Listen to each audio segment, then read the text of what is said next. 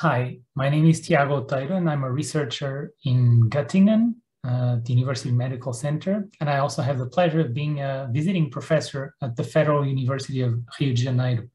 So I'll tell you about uh, some of our recent work on the study of molecular mechanisms associated with synucleinopathies, such as Parkinson's disease.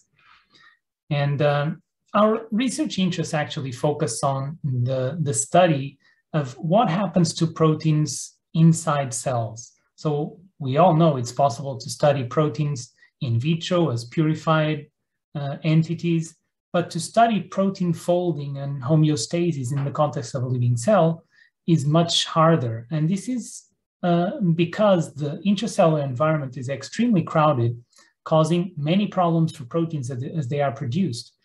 So many of them, as we know today, end up never becoming uh, functional and never becoming properly folded. And the cell needs to decide quickly what to do with these proteins that are not, uh, um, not going the right pathway towards uh, folding. So um, it's important to keep in mind this idea that uh, what we find in vitro is perhaps a bit different than what we find in, vi in vivo or in the context of a cell, as I said. And uh, we need to understand how cells find these misfolded and aggregated proteins. So imagine a crowded environment like this one shown here that we all know from textbooks. So cells need to identify Wally or identify the misfolded uh, proteins. And uh, when this doesn't happen efficiently, we know that it, it, can lead to problems. And this is associated with a variety of human diseases from diabetes to cancer to neurodegeneration. And here I show you just some of the, the, the more common um, types of neurodegenerative diseases, of which Alzheimer's is, of course, the, the, the most common, followed by Parkinson's and by other diseases. And what you see is that uh, next to the names of each of these diseases, you, you find these little micrographs that represent the typical protein aggregates that you find inside the brains of patients that had these disorders. So you can think about the problem as uh, something that happens to proteins that changes their normal three-dimensional structure that may lead to the accumulation of protein aggregates. And uh, traditionally, in recent years, we've been thinking that this was primarily perhaps due to a gain of toxic function, that these aggregates became toxic and could, could cause problems. Um, but we need to consider that if we change the normal three-dimensional structure of a protein, we will also affect its normal function. So most likely it is both a combination of loss and gain of toxic function that ultimately, ultimately contributes to disease. So in the context of the diseases I study, the synucleinopathies, we tend to focus on a protein called alpha-synuclein that gives the name to the diseases. And this is a protein we've known already for quite some time. Uh, we know that there are mutations uh, that lead to familial forms of Parkinson's disease, although these are rare. And we know uh, we have some ideas about the function of the protein, although uh, primarily in neurons. We don't know what this protein is doing in other tissues, such as the blood.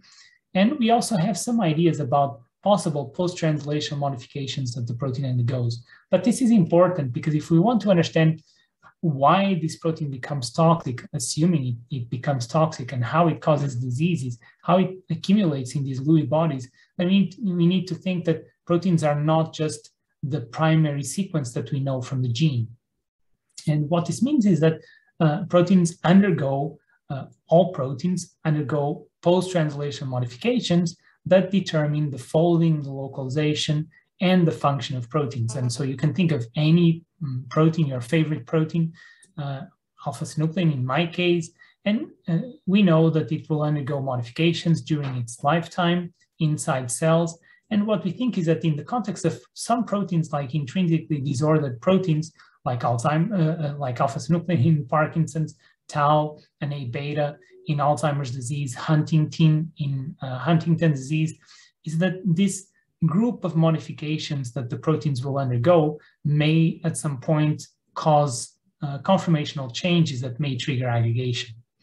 So recently, and because we know that alpha-synuclein is associated with different synucleinopathies, um, the idea could be that perhaps there's different modifications that will determine the fate of alpha-synuclein, perhaps leading to the formation of aggregates with slightly different properties that may then uh, explain why this protein may be found in different cell types and in, in different uh, um, uh, subcellular locations, and this may be important for uh, pathology.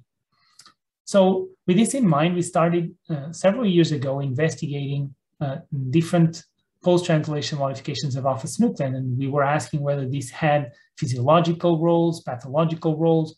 Uh, we were interested in uh, studying the enzymes involved, uh, what were the toxic forms, the modified or non-modified forms, and whether these modifications took place before or after the accumulation in inclusions. So one of these modifications we think is particularly interesting because we think it may uh, provide some insight into this connection that we still don't understand in detail between diabetes and Parkinson's disease. We know that uh, diabetes patients have increased risk for developing Parkinson's disease, uh, and this is age dependent, but we don't know the molecular connection between these two diseases. So we think that this may have to do, at least in part, with this modification called glycation.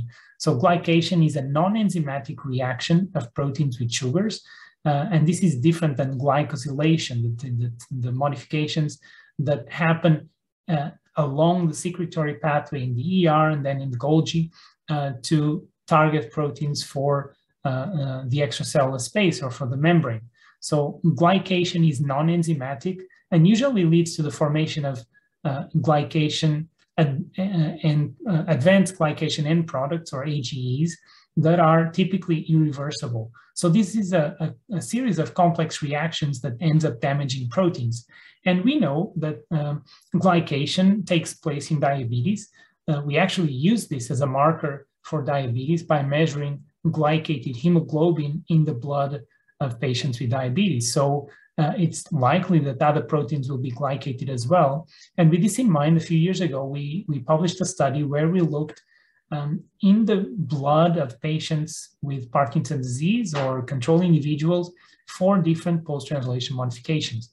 And um, this is important because it could give us clues that the, the, the pool of alpha-synuclein in the blood may be used as a biomarker if it indeed reports on changes that take place in disease.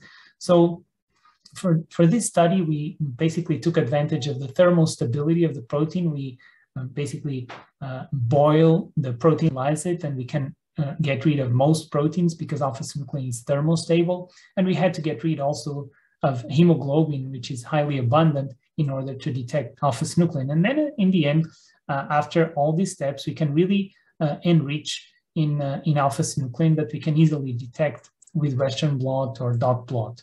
And using simple experiments, using uh, uh, Western blots with different antibodies for different modifications, we could detect uh, glycation, sumorylation, phosphorylation of tyrosine 125 and nitration of tyrosine 39, both by Western blot and by uh, dot blot. So then what we did was to correlate uh, the levels of these modifications with disease and disease duration in particular. And interestingly, we found that for some modifications like glycation, we could detect an increase. So the, the, the levels of alpha-synuclein glycated were increased in, in disease, in Parkinson's disease. Uh, and others like sumorylation seem to be decreased. So this now gives us some ideas of what types of modifications to look for in Parkinson's patients um, and, and, and, and hopefully uh, uh, be able to develop biomarkers that will distinguish controls from disease individuals. But now what I want to focus on is on the study of the molecular alterations that take place in glycation. And uh, we know glucose metabolism produces methylglyoxal. Um, and methylglyoxal is a highly reactive dicarbonyl that uh, can react with certain amino acid side chains damaging the proteins. So uh, mm, there's other glycating agents. Um, basically, any sugar can be a glycating agent, but methylglyoxal is definitely a major glycating agent that, as I said, can react with arginines, lysines, or both with arginines and lysines and uh, generate um, products that we can measure, we can detect using different methods. So we found that in cells, in human cells or in brain tissue from animals, we can detect the presence of glycated uh, alpha-synuclein by methylglyoxal. And we found different lysine residues in alpha-synuclein that we, we, we detect to be glycated. And here I show you which are those residues. Those are the ones shown in red. And what you can see is that they, they tend to localize in the N-terminal region of the protein. Alpha-synuclein has 15 lysines. So the ones in yellow we did not find to be glycated, but the ones in red were um, more likely to be glycated uh, in alpha-synuclein. And, uh, and then what we did was to use a series of model systems in order to try to understand what glycation could be doing. And using uh, patient-derived iPS cells from uh, actually patients that carry a triplication of the alpha-synuclein gene. So these are mm, Parkinson's patients, and you see that they express alpha-synuclein at higher levels. And we treated these cells or control cells where we knock down uh, alpha-synuclein back to control levels. And we found that exposing these cells to increasing concentrations of methylglyoxal increased cytotoxicity. So you see here the control in black and the cells exposed uh, that, that had a triplication of alpha-synuclein are more sensitive to methylglyoxal. But then if we knock down um, alpha-synuclein, we reduce the cytotoxicity induced by methylglyoxal. That was also true in vivo. So here what we did was we took either wild type animals here on the left-hand side or alpha-synuclein transgenic animals, and we injected methylglyoxal on one side of the brain or PBS on the contralateral side of the brain, and we stained for tyrosine hydroxylase, um, which is a marker of dopaminergic neurons uh, in the substantia nigra. And what we found was that in the animals that are transgenic for alpha-synuclein, so they express higher levels of synuclein, the number of, or the, the, the, the reactivity for TH was reduced significantly. So these animals uh, tend to, to lose more dopaminergic neurons than, um, than the control animals uh, injected with methylglyoxal. And using a, a, series of in vitro studies with recombinant protein, we found that uh, adding increasing concentrations of methylglyoxal reduced what seemed to be amyloid fibril formation by alpha-synuclein. So this was a bit surprising. We were thinking that perhaps we, we would see an increase in aggregation.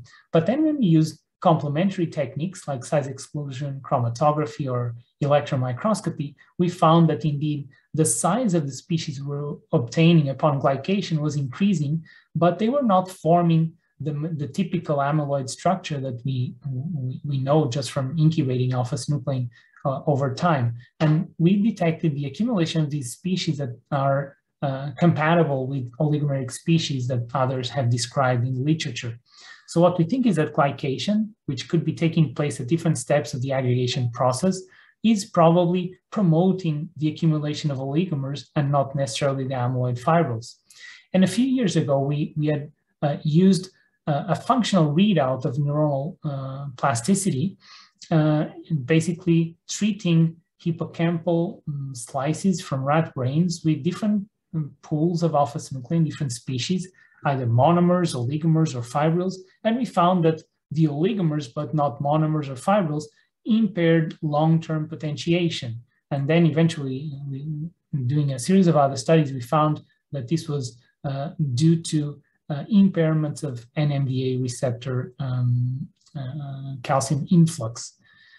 And uh, what we did this time was simple. So if we, since we knew this was a readout of uh, the, the effect that oligomers had on uh, neuronal uh, transmission, we asked whether glycated alpha-synuclein with MGO would uh, also impact on um, synaptic plasticity. And indeed, that's what we found. So you see here the quantification. So the slices that were treated with glycated alpha-synuclein had uh, uh, reduced long-term potentiation, suggesting that indeed these species were toxic oligomers.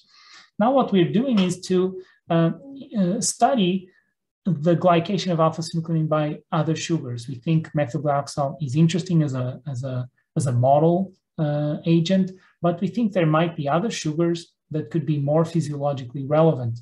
And in this context, we've been looking at uh, ribose, glucose, mannose, galactose, or a series of other sugars, and incubating alpha-synuclein in vitro with these uh, sugars. And uh, by using a simple reaction that can be monitored using fluorescence, um, we could detect indeed that when we incubate alpha-synuclein with methyl glyoxal, we detect some glycation. But then, for example, ribose seems to glycate alpha-synuclein uh, even to a higher extent. And other sugars like glucose or galactose do not seem to be as potent in uh, uh, promoting the formation of this type of fluorescent products.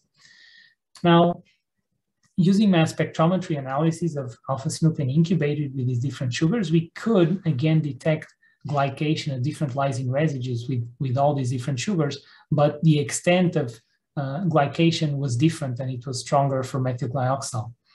And what we could also see uh, by using again thioflavin T as a readout for amyloid formation and electron microscopy, we could see that uh, uh, as we had observed before, methyl reduces thioflavin T binding, as does ribose, but other sugars, uh, surprisingly, like glucose and galactose, do not seem to reduce fibril formation as much. And you can see that this is uh, compatible with the observations uh, with electron microscopy, where we see with galactose the formation of fibrils, the formation of fibrillar species that may not be mature amyloid fibrils, but are definitely different than the ones formed with methyl And this was also confirmed using a filter trap uh, assay uh, that confirmed that the, the different types of glycated alpha-synuclein had different physical properties, different sizes that could be retained by a filter.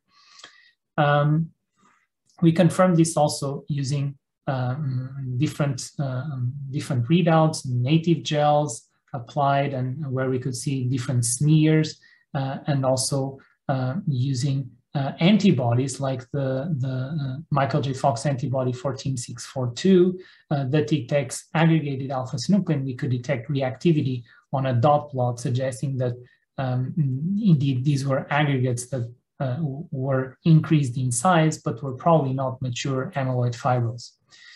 And what we've been investigating more recently is uh, whether these glycated alpha-synuclein species can seed uh, the, the aggregation of uh, non-glycated um, or endogenous alpha-synuclein. And for this, what we did was to use uh, SHSY5Y cells that we could differentiate into uh, TH uh, positive neurons, or neuronal cells, I should say. And uh, we added glycated alpha-synuclein or non-glycated alpha-synuclein to these cultures. And then we used uh, uh, um, different markers of aggregation. So we stained, we could see that when we looked for alpha-synuclein inside the cell, we could detect that there was some internalization. And um, we could detect some signal that told us that indeed there was seeding of endogenous uh, alpha-synuclein aggregation. And, and, what we use as a readout is this phosphorylation of serine 129. Here, these are primary cortical neurons, so not just the SHSY5Y cells, but you can see that the signal, the red signal, mm, demonstrates that there is seeding from the exogenous seeds that were added of the endogenous material because the the, the, the, phosphorylation of serine 129 can only take place inside cell. And when we add, for example, alpha-synuclein glycate to the MGO, we can detect phosphorylation, so it seeds aggregation. But interestingly, uh, ribose glycated alpha-synuclein would not uh, uh, induce the seeding of endogenous protein. So it's interesting that different glycated forms of the protein can, can have different uh, capabilities for seeding aggregation of endogenous protein. Um, we've also been investigating whether these different glycated species could induce inflammatory responses. And for this, what we did was to prepare primary microglial cultures and then treat the cells again with the glycated alpha-synuclein by different agents. And we could see that glycated alpha-synuclein, both by methyl glyoxal or by ribose, induces uh, the, the, the, the, levels of IL-6, TNF alpha, IL-1 beta. So this is compatible with uh, an inflammatory response triggered by glycated alpha-synuclein. And more recently, uh, one avenue we are pursuing is the generation of antibodies against glycated alpha-synuclein. So there are no easy ways for detecting glycation of alpha-synuclein unless you do mass spec, and uh, uh, or if you use general antibodies for glycated residues. So we wanted to develop tools that may enable us to detect glycated forms of alpha-synuclein.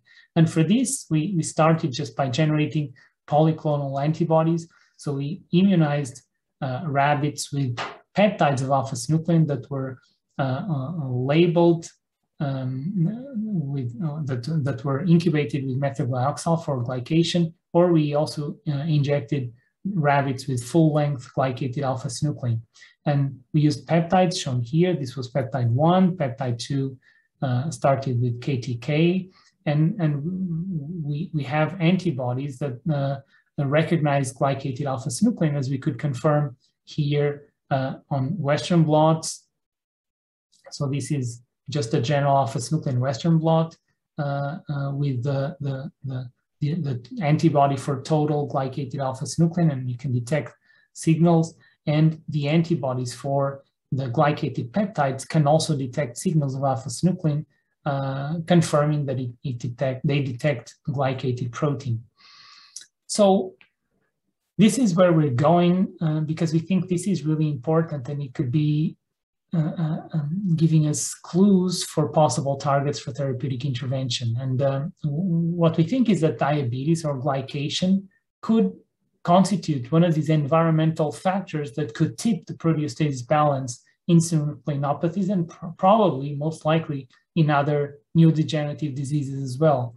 So it's important to understand how glycation and other post-translation modifications alter uh, protein structure, protein function in order to come up with better uh, ideas for targets for intervention. And with this, I would like to close thanking members of my lab that contribute to these studies, collaborators over the years that have helped us in these uh, different studies and the sources of funding, and of course, you for your attention. So thank you.